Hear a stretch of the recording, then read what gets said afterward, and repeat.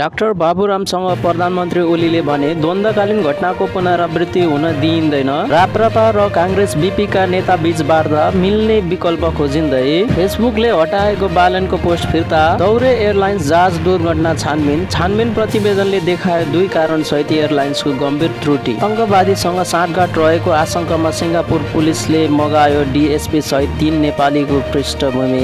विश्वकप लिग दुई अभ्यास अन्तिम खेलमा श्रीलङ्कासँग नेपाल पाँच विकेटले पराजित। नमस्कार दर्शकबिन म राजकुमार। आजको भिडियोमा यो सबले उपस्थित भइसकेको छु। भिडियोलाई सुरुदेखि अन्तिमसम्म फलो गर्नुहोला। नयाँ नयाँ जानकारीको लागि हाम्रो च्यानललाई सब्सक्राइब गर्नुहोला र भिडियो सामग्रीलाई लाइक कमेन्ट गरी थप हौसला प्रदान गरिदिनुहोस् है। धन्यवाद। प्रधानमन्त्री केपी शर्मा ओलीले पुनः स्थापित शान्ति प्रक्रियालाई दिगो बनाउँदै द्वन्द्वकालीन घटनाको पुनरावृत्ति हुन नदिनेतर्फ वर्तमान सरकार स्पष्ट रहेको बताएका छन्। सङ्क्रमणकालीन न्यायसँग सम्बन्धित विषयमा शुक्रबार नेपाल समाजवादी पार्टीका संयोजक एवं पूर्व प्रधानमन्त्री डाक्टर बाबुराम भट्टराई नेतृत्वको प्रतिनिधि मण्डलको उन्नाइस बुधे ध्यानकर्षण पत्र बुझ्दै प्रधानमन्त्री ओलीले नेपाली जनतालाई जातीय आधारमा विभाजित गरेर र सामाजिक रूपमा घृणा दोष फैलाएर राष्ट्रिय एकता कमजोर पार्ने प्रयास सफल नहुने बताएका छन्। जनताले उहिले फाल्नुपर्ने राजतन्त्र आफ्नो रगतसँग साटेर बल्ल फालेका छन्। सङ्घीय लोकतान्त्रिक गणतन्त्रको स्थापना भएको छ। यो व्यवस्थालाई सबल तुराएर जनताको विकास समृद्धि र स्थायित्वको चाहना पुरा गर्नु छ। त्यसकारण कुनै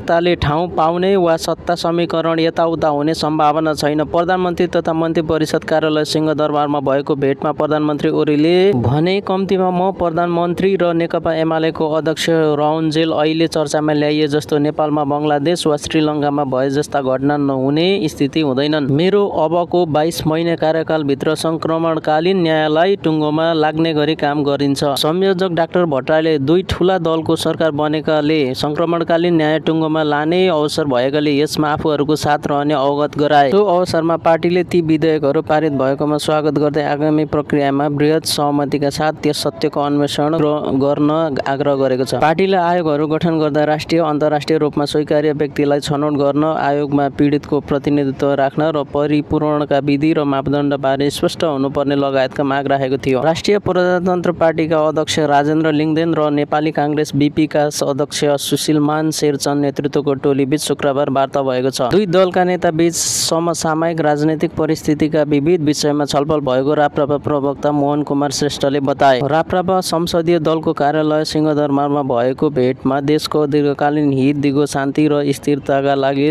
राज संस्थाको अपरिहार्यताबारे वृहत कुराकानी भएको श्रेष्ठले बताए। विचार मिल्नेहरू एकै ठाउँमा उभिएर दह्रो राष्ट्रवादी शक्ति बनाउनु पर्ने विषयमा छलफल भएको उनले बताए। प्रतिनिधि मण्डलमा काङ्ग्रेस बिपीका महामन्त्री देवेन्द्र पौडेल र हेमन्त मल्ल नेताहरू पूर्व मन्त्री झलकनाथ वाग्ले जगन्नाथ घिमिरे टेकेन्द्र कार्की लगायत थिए राप्रपाबाट प्रवक्ता गोपाल दाहाल सहभागी थिए। काठमाडौँ महानगरका मेयर बालेन्द्र शाहको पोस्ट फेसबुकले फिर्ता गरेको छ। एमाले लुम्बिनी प्रदेश सांसद रेखा कुमारी शर्मालाई लक्षित गर्दै लेखेको घरेलु बाल श्रम सम्बन्धी स्ट्याटसलाई फेसबुकले केही दिन अघि हटाएको थियो। बालेनले भने आफ्नो पोस्ट सरकारले हटाएको भन्दै प्रधानमन्त्री केपी ओली विरुद्ध आक्रोशित बनेका थिए। बालेनको पोस्टमा रिपोर्ट गरेर हटाउने भूमिका खेलेको भन्दै बालेनका समर्थकले ओलीको फेसबुक पेजमा अनफलोको अभियान नै चलाएका थिए। यस क्रममा बालेन र ओलीका समर्थक एक आपसमा डिजिटल लडाइँमा लागेका थिए। त्रिभुवन अन्तर्राष्ट्रिय विमानस्थलमा गत साउन उन्नाइस गते भएको सौर्य एयरलाइन्सको जहाज दुर्घटनामा जाँच आयोगले प्रारम्भिक प्रतिवेदन सार्वजनिक गरेको छ। छानबिन आयोगको प्रारम्भिक प्रतिवेदन अनुसार दुर्घटनाको एक सम्भावित कारणमा अपरेटर सौर्य एयरलाइन्सले अपरेसन र ग्राउन्ड ह्यान्डलिङ म्यानुअल अनुसार जहाजमा सामान राख्नुपर्नेमा त्यो पालना नगरेको पाइएको छ। यस्तो म्यानुअल नेपाल नागरिक उद्यान प्राधिकरणबाट स्वीकृत गराउनुपर्छ। सौर्यसँग त्यस्तो म्यानुअल भए पनि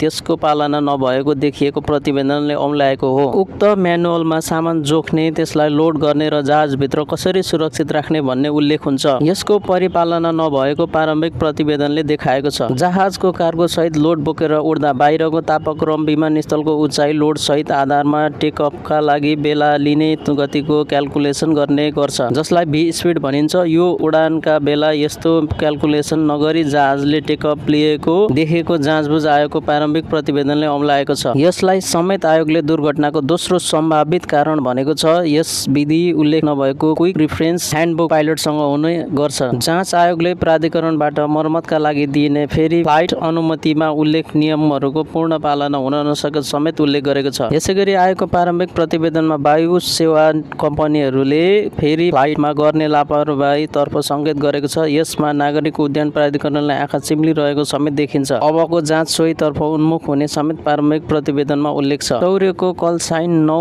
एनएनएमई भएको सिआरजे दुई सय सिरिजको जहाज टेकअप गर्न साथ त्रिभुवन विमानस्थलमा दुर्घटनामा परेको थियो। दुर्घटनामा अठारजनाको मृत्यु भएको थियो। दुर्घटनामा परेका क्याप्टेन मनिष रत्न साख्यालाई भने जीवित उद्धार गरिएको थियो। श्रीलङ्का डेभलपमेन्ट एघारसँग हिजो भएको अन्तिम एक दिवसीय अभ्यास खेलमा नेपालले पाँच विकेटले पराजित भएको छ। यसअघि तय भएका दुवै अभ्यास खेल भने वर्षाका कारण हुन नसकेका भए पनि हिजो भएको अन्तिम खेलमा नेपालले दिएको एक सय साठी रनको जितको लक्ष्य घरेलु श्रीलङ्का डेभलपमेन्ट एघारले पाँच विकेटले गुमाएर भेटाएको थियो। जितका लागि नेपालले दिएको एक सय साठी रनको लक्ष्य श्रीलङ्काले छब्बिस ओभर पाँच बलमा पाँच विकेटको क्षतिमा भेटायो। श्रीलङ्काको जितमा के सन्जुलाले साठी बलमा सर्वाधिक अडसठी रनको योगदान गरे। नेपालका लागि गुलसन झाले छब्बिस रन खर्चेर दुई विकेट लिए भने कतानी गरेका सोमपाल कामीले दुई विकेट लिए भने एक विकेट